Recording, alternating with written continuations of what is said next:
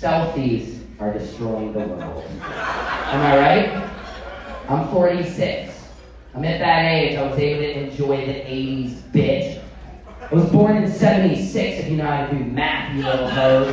That's right, I'm a bicentennial American bitch right here.